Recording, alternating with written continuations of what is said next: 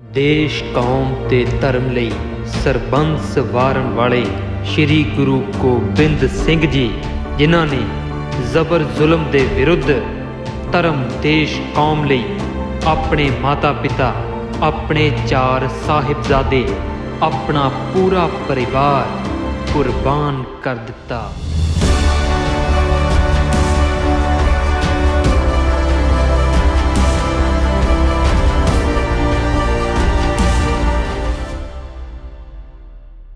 ਸ਼੍ਰੀ ਗੁਰੂ ਗੋਬਿੰਦ ਸਿੰਘ ਜੀ ਦਾ ਪ੍ਰਕਾਸ਼ 1666 ਈਸਵੀ ਨੂੰ ਪਟਨਾ ਸਾਹਿਬ ਵਿਖੇ ਸ਼੍ਰੀ ਗੁਰੂ ਤੇਗ ਬਹਾਦਰ ਜੀ ਅਤੇ ਮਾਤਾ ਗੁਜਰੀ ਜੀ ਦੇ ਗ੍ਰਹਿ ਵਿਖੇ ਹੋਇਆ।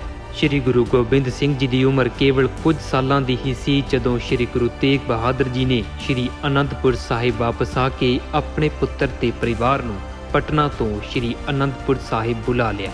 ਜਦੋਂ ਸ਼੍ਰੀ ਗੁਰੂ ਗੋਬਿੰਦ ਸਿੰਘ ਜੀ ਦਾ ਪ੍ਰਕਾਸ਼ ਹੋਇਆ, ਉਸ ਵੇਲੇ ਔਰੰਗਜ਼ੇਬ ਦਾ ਜ਼ਬਰ ਜ਼ੁਲਮ ਤੇ ਅਤਿਆਚਾਰ ਸਭ ਹੱਦਾਂ ਬੰਨੇ ਟੱਪ ਗਿਆ ਸੀ। ਦੇਸ਼ ਦੇ ਬਾਦਸ਼ਾਹ ਔਰੰਗਜ਼ੇਬ ਨੇ ਉਸ ਵੇਲੇ ਦੇਸ਼ ਭਰ ਦੇ ਆਪਣੇ ਸਾਰੇ ਗਵਰਨਰਾਂ ਨੂੰ ਇਹ ਹੁਕਮ ਜਾਰੀ ਕਰ ਦਿੱਤਾ ਸੀ ਕਿ ਹਿੰਦੂਆਂ ਦੇ ਸਾਰੇ ਮੰਦਰ ਅਤੇ ਸਕੂਲ ਢਾ ਦਿੱਤੇ ਜਾਣ। ਇਹਨਾਂ ਹੁਕਮਾਂ ਨੂੰ ਸਾਰੇ ਗਵਰਨਰਾਂ ਵੱਲੋਂ ਬੜੀ ਸਖਤੀ ਨਾਲ ਲਾਗੂ ਕੀਤਾ ਜਾਣ ਪਿਆ।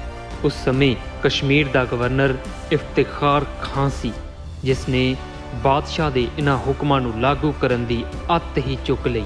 ਕਸ਼ਮੀਰ ਵਿੱਚ ਮੰਦਰ ਢਾਹੇ ਜਾਣ ਲੱਗੇ ਅਤੇ ਹਿੰਦੂਆਂ ਨੂੰ ਜ਼ਬਰਦਸਤੀ ਮੁਸਲਮਾਨ ਬਣਾਇਆ ਜਾਣ ਲੱਗ ਪਿਆ। ਜਦੋਂ ਅਤਿਆਚਾਰ ਸਭ ਹੱਦਾਂ ਬੰਨੇ ਟੱਪ ਗਿਆ, ਤਾਂ ਕਸ਼ਮੀਰੀ ਪੰਡਿਤਾਂ ਦਾ ਇੱਕ 16 ਮੈਂਬਰੀ ਵਫਦ, ਪੰਡਿਤ ਕਿਰਪਾ ਰਾਮ ਦੀ ਅਗਵਾਈ ਵਿੱਚ ਸ੍ਰੀ ਅਨੰਦਪੁਰ ਸਾਹਿਬ ਪਹੁੰਚ ਕੇ ਸ੍ਰੀ ਗੁਰੂ ਤੇਗ ਬਹਾਦਰ ਜੀ ਅੱਗੇ ਇਸ ਜ਼ੁਲਮ ਦੇ ਵਿਰੁੱਧ ਫਰਿਆਦ ਕਰਨ ਲੱਗਿਆ। ਇਸ ਵਫਦ ਦੀ ਮੁਲਾਕਾਤ ਗੁਰੂ ਜੀ ਨਾਲ 25 ਮਈ 1675 ਈਸਵੀ ਨੂੰ ਹੋਈ। ਕਸ਼ਮੀਰੀ ਪੰਡਤਾਂ ਨੇ ਸਾਰਾ ਹਾਲ ਗੁਰੂ ਜੀ ਨੂੰ ਦੱਸਿਆ, ਜਿਸ ਨੂੰ ਸੁਣ ਕੇ ਗੁਰੂ ਜੀ ਗੰਭੀਰ ਹੋ ਗਏ।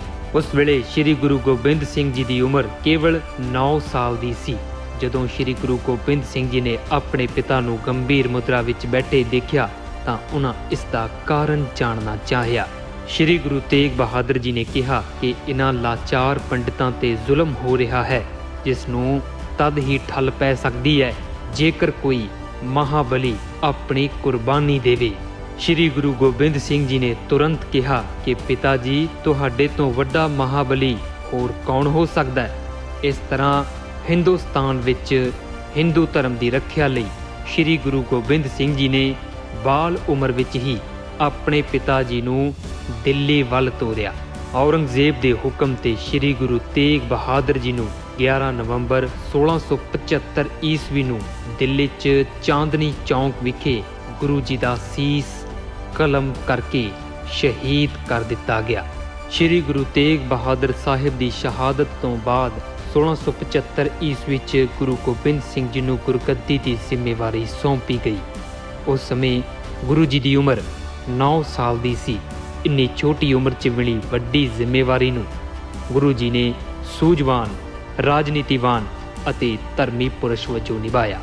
ਗੁਰੂ ਤੇਗ ਬਹਾਦਰ ਜੀ ਦੀ ਸ਼ਹੀਦੀ ਤੋਂ ਬਾਅਦ ਸ੍ਰੀ ਗੁਰੂ ਗੋਬਿੰਦ ਸਿੰਘ ਜੀ ਨੇ ਆਪਣੇ ਸਾਰੇ ਸਿੱਖਾਂ ਨੂੰ ਸ਼ਸਤਰਬੱਧ ਹੋਣ ਅਤੇ ਵਧੀਆ ਘੋੜੇ ਰੱਖਣ ਲਈ ਉਸੇ ਤਰ੍ਹਾਂ ਹੁਕਮ ਜਾਰੀ ਕਰ ਦਿੱਤਾ, ਜਿਸ ਤਰ੍ਹਾਂ ਸ੍ਰੀ ਗੁਰੂ ਅਰਜਨ ਦੇਵ ਜੀ ਦੀ ਸ਼ਹੀਦੀ ਤੋਂ ਬਾਅਦ ਗੁਰੂ ਗੋਬਿੰਦ ਸਿੰਘ ਜੀ ਦੇ ਦਾਦਾ ਸ੍ਰੀ ਗੁਰੂ ਹਰਗੋਬਿੰਦ ਸਾਹਿਬ ਜੀ ਨੇ ਕੀਤਾ ਸੀ। ਗੁਰੂ ਜੀ ਸ੍ਰੀ ਆਨੰਦਪੁਰ ਸਾਹਿਬ ਤੋਂ ਕੁਝ ਸਮੇਂ ਲਈ ਹਿਮਾਚਲ ਪ੍ਰਦੇਸ਼ ਵਿੱਚ ਨਾਹਨ ਦੇ ਰਾਜੇ ਮੇਦਨੀ ਪ੍ਰਕਾਸ਼ ਦੇ ਸੱਦੇ ਤੇ ਚਲੇ ਗਏ ਅਤੇ ਉੱਥੇ ਪੌਂਟਾ ਸਾਹਿਬ ਨਾਂ ਦਾ ਨਗਰ ਵਸਾਇਆ।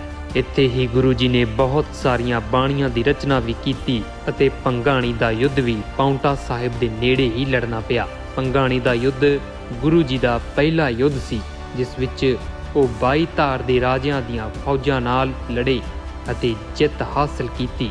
ਇਸ ਤੋਂ ਬਾਅਦ ਗੁਰੂ ਜੀ ਮੁੜ ਸ਼੍ਰੀ ਅਨੰਦਪੁਰ ਸਾਹਿਬ ਵਿਖੇ ਆ ਗਏ। 1699 ਈਸਵੀ ਨੂੰ ਵਿਸਾਖੀ ਵਾਲੇ ਦਿਨ ਗੁਰੂ ਜੀ ਨੇ ਖਾਲਸਾ ਪੰਥ ਦੀ ਸਿਰਜਣਾ ਕੀਤੀ ਅਤੇ ਪੰਜ ਪਿਆਰਿਆਂ ਕੋਲੋਂ ਆਪ ਅੰਮ੍ਰਿਤ ਛਕ ਕੇ ਆਪਣਾ ਨਾਂ ਗੁਰੂ ਗੋਬਿੰਦ ਸਿੰਘ ਰੱਖਿਆ। ਗੁਰੂ ਜੀ ਦੇ ਬਚਪਨ ਦਾ ਨਾਂ ਗੋਬਿੰਦ ਰਾਏ ਸੀ। ਸ਼੍ਰੀ ਅਨੰਦਪੁਰ ਸਾਹਿਬ ਵਿਖੇ ਰਹਿੰਦਿਆਂ ਵੀ ਪਹਾੜੀ ਰਾਜਿਆਂ ਨੇ ਗੁਰੂ ਜੀ ਨਾਲ ਲੜਾਈ ਝਗੜਾ ਜਾਰੀ ਰੱਖਿਆ, ਪਰ ਜਿੱਤ ਹਮੇਸ਼ਾ ਗੁਰੂ ਜੀ ਦੀ ਹੀ ਹੁੰਦੀ ਰਹੀ। ਅਖੀਰ 1704 ਈਸਵੀ ਨੂੰ ਜਦੋਂ ਗੁਰੂ ਜੀ ਨੇ ਸ੍ਰੀ ਅਨੰਦਪੁਰ ਸਾਹਿਬ ਦਾ ਕਿਲਾ ਛੱਡ ਦਿੱਤਾ, ਤਾਂ ਮੁਗਲ ਫੌਜਾਂ ਨੇ ਪਿੱਛੋਂ ਹਮਲਾ ਕਰ ਦਿੱਤਾ, ਜਿਸ ਕਰਕੇ ਗੁਰੂ ਜੀ ਦਾ ਸਾਰਾ ਪਰਿਵਾਰ ਵਿਛੜ ਗਿਆ। ਚਮਕੌਰ ਸਾਹਿਬ ਇੱਕ ਕੱਚੀ ਗੜੀ ਵਿੱਚ ਗੁਰੂ ਜੀ ਨੇ ਆਪਣੇ 40 ਸਿੰਘਾਂ ਸਮੇਤ 10 ਲੱਖ ਮੁਗਲ ਫੌਜ ਦਾ ਟਾਕਰਾ ਕੀਤਾ। ਇੱਥੇ ਹੀ ਉਹਨਾਂ ਨੇ ਆਪਣੇ ਇੱਕ ਇੱਕ ਸਿੰਘ ਨੂੰ ਸਵਾ ਸਵਾ ਲੱਖ ਦੁਸ਼ਮਣਾਂ ਨਾਲ ਲੜਾਇਆ। ਇੱਥੇ ਗੁਰੂ ਜੀ ਦੇ ਦੋ ਵੱਡੇ ਸਾਹਿਬਜ਼ਾਦੇ ਬਾਬਾ ਅਜੀਤ ਸਿੰਘ ਅਤੇ ਬਾਬਾ ਜੁਝਾਰ ਸਿੰਘ ਸ਼ਹੀਦ ਹੋ ਗਏ। ਗੁਰੂ ਜੀ ਦੇ ਛੋਟੇ ਸਾਹਿਬਜ਼ਾਦਿਆਂ ਬਾਬਾ ਜ਼ੋਰਾਵਰ ਸਿੰਘ ਤੇ ਬਾਬਾ ਫਤਿਹ ਸਿੰਘ ਜੀ ਨੂੰ ਸਰਹੰਦ ਦੇ ਸੂਬੇ ਵਜ਼ੀਰ ਖਾਨ ਦੇ ਹੁਕਮ ਤੇ ਜ਼ਿੰਦਾ ਨੀਹਾਂ ਵਿੱਚ ਚਿਣਵਾ ਕੇ ਸ਼ਹੀਦ ਕਰ ਦਿੱਤਾ ਗਿਆ। ਗੁਰੂ ਜੀ ਨੇ ਸਾਬੋ ਕੀ ਤਲਵੰਡੀ ਵਿਖੇ ਸ੍ਰੀ ਗੁਰੂ ਗ੍ਰੰਥ ਸਾਹਿਬ ਜੀ ਦਾ ਪੁਨਰ ਸੰਪਾਦਨ ਕੀਤਾ ਅਤੇ ਆਪਣੇ ਪਿਤਾ ਸ੍ਰੀ ਗੁਰੂ ਤੇਗ ਬਹਾਦਰ ਜੀ ਦੀ ਬਾਣੀ ਨੂੰ ਗੁਰੂ ਗ੍ਰੰਥ ਸਾਹਿਬ ਵਿੱਚ ਦਰਜ ਕੀਤਾ। ਸ੍ਰੀ ਗੁਰੂ ਗੋਬਿੰਦ ਸਿੰਘ ਜੀ ਦੇ ਜੀਵਨ 'ਚੋਂ ਸਾਨੂੰ ਇੱਕ ਗੱਲ ਬਹੁਤ ਪ੍ਰਮੁੱਖਤਾ ਨਾਲ ਪਤਾ ਚੱਲਦੀ ਹੈ ਕਿ ਗੁਰੂ ਜੀ ਦੀ ਕਿਸੇ ਨਾਲ ਜਾਤੀ ਦੁਸ਼ਮਣੀ ਨਹੀਂ ਸੀ। ਪੀਰ ਬੁੱਧੂ ਸ਼ਾਹ ਵਰਗੇ ਮੁਸਲਮਾਨ ਫਕੀਰ ਗੁਰੂ ਜੀ ਦੇ ਪੱਕੇ ਮੁਰੀਦ ਸਨ ਅਤੇ ਹੋਰ ਤਾਂ ਹੋਰ ਪੀਰ ਜੀ ਨੇ ਗੁਰੂ ਜੀ ਦੀ ਪੰਗਾਣੀ ਦੇ ਯੁੱਧ ਵਿੱਚ ਮਦਦ ਵੀ ਕੀਤੀ ਸੀ। ਗੁਰੂ ਜੀ ਦੀ ਲੜਾਈ ਜ਼ੁਲਮ ਨਾਲ ਸੀ, ਕਿਸੇ ਵਿਅਕਤੀ ਵਿਸ਼ੇਸ਼ ਨਾਲ ਨਹੀਂ। ਗੁਰੂ ਜੀ ਦੀ ਬਾਣੀ ਵਿੱਚ ਸੱਚ ਲਈ ਲੜਨਾ ਤੇ ਮਜ਼ਲੂਮ ਦੀ ਰੱਖਿਆ ਕਰਨ ਦੀ ਸਿੱਖਿਆ ਮਿਲਦੀ ਹੈ। ਸਤੰਬਰ 1707 ਈਸਵੀ ਵਿੱਚ ਗੁਰੂ ਜੀ ਦੱਖਣ ਵਿੱਚ ਮਹਾਰਾਸ਼ਟਰ ਦੇ ਨਾਂਦੇੜ ਨਾਮੀ ਸਥਾਨ ਤੇ ਚਲੇ ਗਏ, ਜਿੱਥੇ ਗੁਰੂ ਜੀ ਨੇ ਮਾਧੋ ਦਾਸ ਵੈਰਾਗੀ ਨੂੰ ਅੰਮ੍ਰਿਤ ਛਕਾ ਕੇ ਬਾਬਾ ਬੰਦਾ ਸਿੰਘ ਬਹਾਦਰ ਬਣਾਇਆ ਅਤੇ ਜ਼ੁਲਮ ਦਾ ਟਾਕਰਾ ਕਰਨ ਲਈ ਪੰਜਾਬ ਵੱਲ ਭੇਜਿਆ। ਬਾਅਦ ਵਿੱਚ ਬਾਬਾ ਬੰਦਾ ਸਿੰਘ ਬਹਾਦਰ ਨੇ ਸ਼੍ਰੀ ਹਜ਼ੂਰ ਸਾਹਿਬ ਨਾਂਦੇੜ ਤੋਂ ਪੰਜਾਬ ਆ ਕੇ ਸਰਹੰਦ ਦੀ ਇੱਟ ਨਾਲ ਇੱਟ ਖੜਕਾ ਕੇ ਵਜ਼ੀਰ ਖਾਨ ਨੂੰ ਮੌਤ ਦੇ ਘਾਟ ਉਤਾਰ ਕੇ ਸਾਹਿਬਜ਼ਾਦਿਆਂ ਦੀ ਸ਼ਹੀਦੀ ਦਾ ਬਦਲਾ ਲਿਆ। ਨਾਂਦੇੜ ਨਾਮੀ ਸਥਾਨ ਤੇ ਦੋ ਵਿਸ਼ਵਾਸਘਾਤੀ ਪਠਾਣਾ ਨੇ ਗੁਰੂ ਜੀ ਦੇ ਛੁਰੇ ਨਾਲ ਵਾਰ ਕਰ ਦਿੱਤਾ।